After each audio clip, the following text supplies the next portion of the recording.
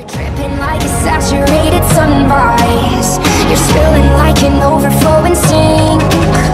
You ripped at every edge, but you're a masterpiece. And now you're tearing through the pages and the ink.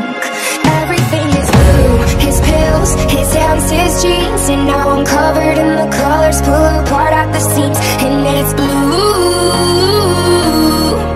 And it's blue. Everything is gray. His hair.